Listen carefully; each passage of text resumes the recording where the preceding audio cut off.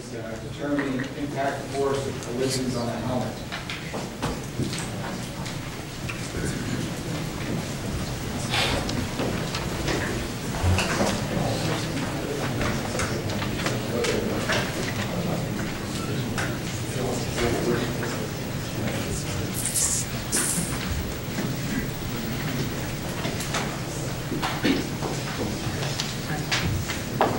Uh, Good afternoon. Our project is determining the impact force of collisions on a helmet.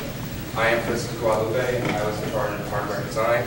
Uh, This is Josh Hendler, who's our team leader, and he was in charge of project and resource management. Uh, Sandra Valdez is also took part in hardware. And uh, Grant Marshall, he did the software programming.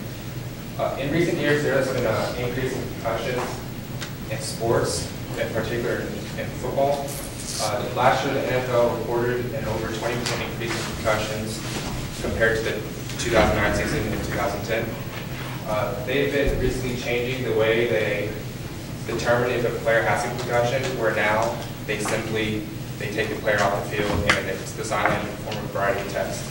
And uh, with our design, what we plan to do is we plan to monitor the collisions and if the collision force is above a certain threshold, that you store the information of the collision in memory, and then later the information be accessed by the medical staff, and it can be used to help aid in whether has any concussion.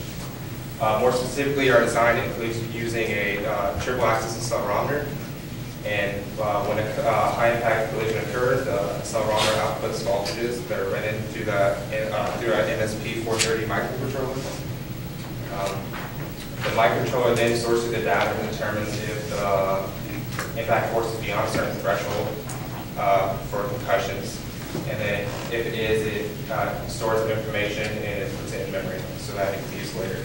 Uh, At the same time, it also flags that LED light on the helmet that indicates that there has been a high impact collision and should be checked out. Uh, For second semester senior design, we plan to fully implement the system with wire power, to make sure it works. And after that, we plan to make a standalone power unit that can be applied universally to a multitude of helmets, such as a hockey helmet as well, football helmet, things like that. Um, Is there any questions? Yes? How about the the of the impact? I mean, some impacts are going to be more um, injured, injury prone than others, right? Yeah, um, for, for concussions, uh, the large majority of concussions are caused the, in the front part of the helmet and, uh, rotational. Um, what, what we plan to do is the threshold for concussions would be the minimum. So, um, no matter which direction the hit is from, it, it still flags. That's straight down, hit on top of the head, which causes a lot of spinal injury. Yes. Yeah. So what's the G-force looking at? For the human threshold, uh, for concussions, uh, studies show between 50 and 75 but it, it, it ultimately depends on the person, it can be a little. Yeah, some people have necks like tree trunks. Yeah, it, it, it depends on, uh, and our plan would be to, uh, implement the lowest, because it's better, it's better to, uh, flag the staff wherever, just in case the person might have a concussion. How important is a proper helmet fit to the accuracy of the, uh, of the measurement? What's the? How important is proper helmet fit to the accuracy of the measurement? Like sometimes kids will have a helmet that doesn't fit just right, and it might, I'm I'm just thinking that it might shake a little bit. Uh, the, I mean, the assumption is that they have the helmet on properly. Of course. That's what Is that crucial, I guess? Uh, it would be something.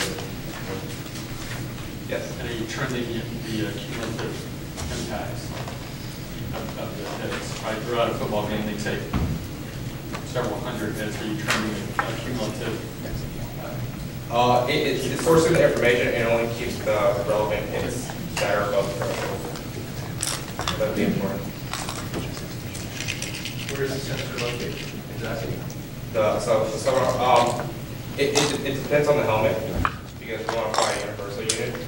Um, a lot of helmets, there's space inside the helmet, if not, it can be embedded inside the, um, the padding.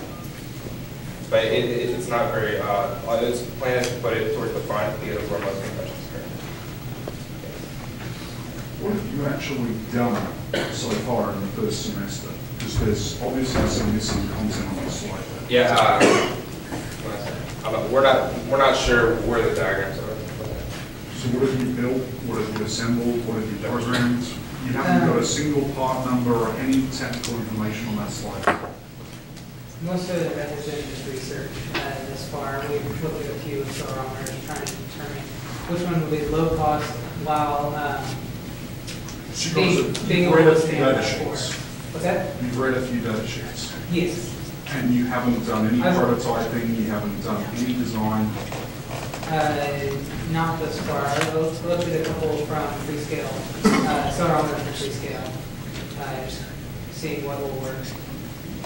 You guys need to go walk around some of your peer group who are on senior design one, because there are a couple here that have got, you know, fairly well advanced projects, things built, certainly not just four guys that have done a bunch of reading.